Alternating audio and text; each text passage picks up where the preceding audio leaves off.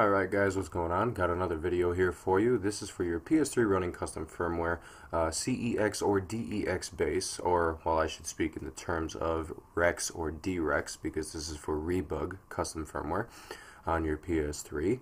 Uh, what we're going to be doing today is running PSP ISO files from native XMB uh, with a little added program, which is right here, the PSP Launcher Fixed Version 2.0. I will have the link in the description below as well as the updated Rebug Toolbox link, the 02.0212 uh, Toolbox.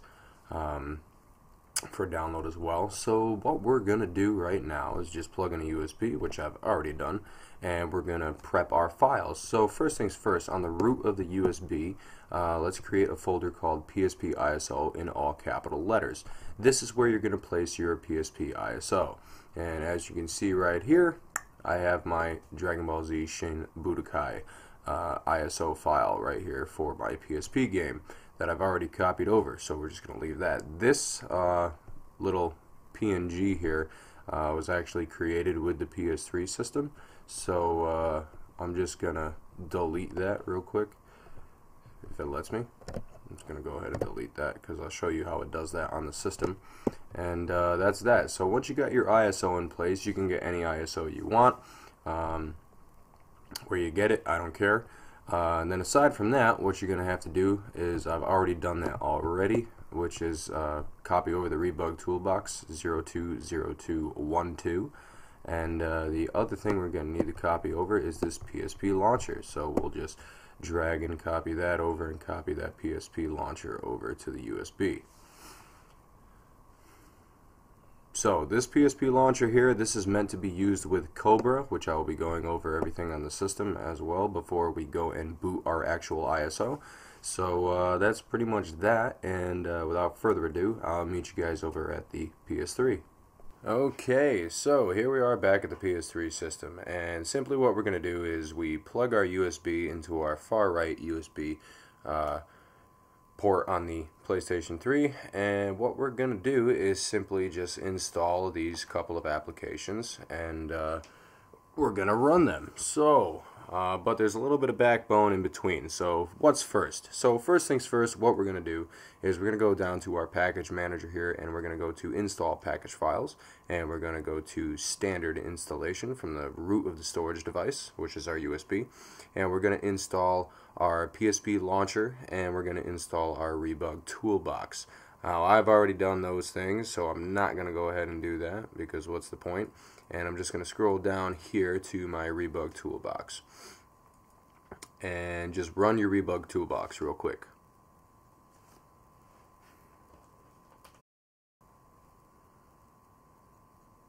Okay, so once we're inside the Rebug toolbox, go over to the right one uh, and you're going to go to selector. What you're going to do is set your system mode to Rebug you're going to set your XMB operation mode to debug if it isn't already. Skip the next two because we're not going to worry about that. And here's the important part. Cobra mode, make sure that is enabled. Toggle PS2 emulation, Cobra, that's what it needs to be.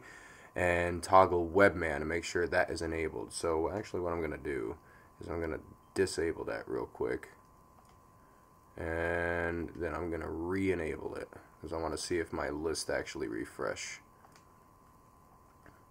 Okay, and then once you've done that, just come back up to the top here and select quit. And now your console is going to do a quick little reboot.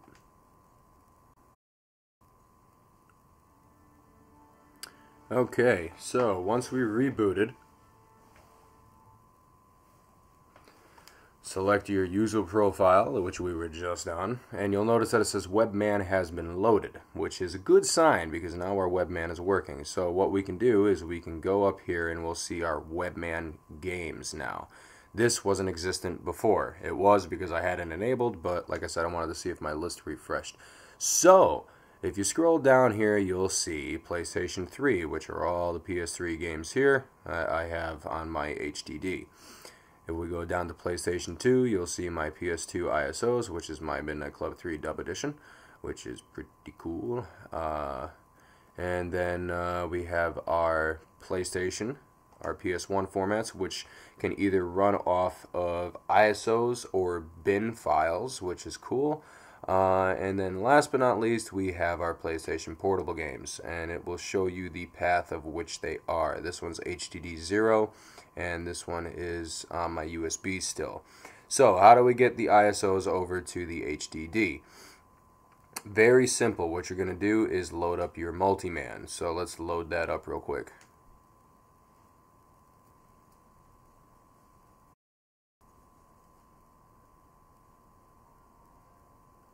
Alrighty. So now that we're in Multiman, this will be your main screen that you come to. Uh, so simply just scroll all the way over to the left if it's not already and select this File Manager MMOS. Once you got that open, oh, we're already at the HDD0. Let me exit that real quick. Uh, select the PS3 root. Double click on that. And what you're going to do is you're going to scroll over to you see your USB drive. Double click on that and then the PSP ISO folder that I had you guys make is right here. So what you're going to do is double click on that and open that up and you will see your ISO file there.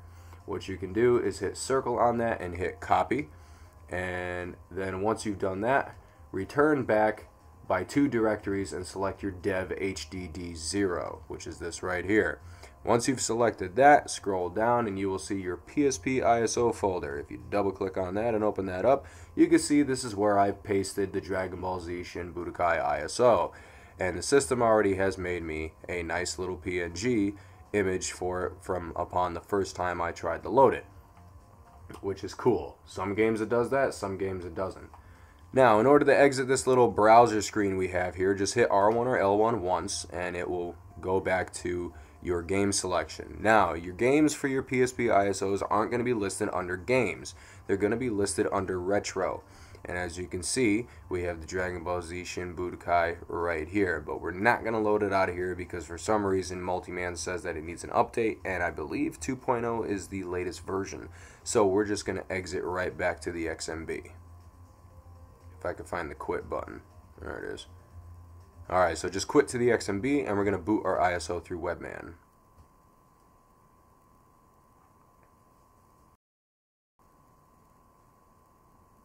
Alrighty, so now that we're back at the XMB, what we can do now is we can go back up to our Webman games and we can scroll down to our PlayStation Portable formatted games and select the Dev HDD0 PSP ISO uh, for Dragon Ball Z Shin Budokai.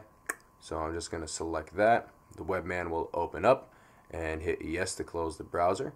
It has been loaded to the PSP launcher and we should be able to select it right here uh, but for some reason it's just not letting me do that I don't know if I have to put the program in the subfolder or not but it is mounted to the program because it does work so we go to our PSP launcher here and just hit X to start it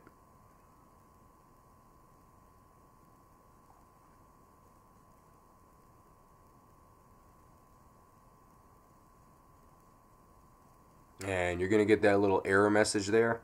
Just ignore that. It's not big of a deal. It's going to leave and voila, you have your PSP ISO running on your PS3 using the Cobra version 7.5, I believe, is on this firmware because it was 7.3 something on the last rebug. I don't know, whatever, but it's Cobra 7X. We'll just go with that. So, congratulations. Now you have PSP ISOs running on your custom firmware PS3, and I am hell of excited to play this game again because I loved this game on PSP. So, rate, comment, and subscribe. I'll talk to you guys later. Hope you enjoy running your PSP games on your PlayStation 3 running custom firmware. I will be coming out with a video about uh, installing custom firmware over your 482 official firmware. Uh, running on the PSP, uh, PS3 Slims and Super Slims, and then being able to toggle your QA and go back and forth between firmware like we do with the CEX based custom firmwares. And that should be later this week. So, yeah, I'll talk to you guys later and enjoy.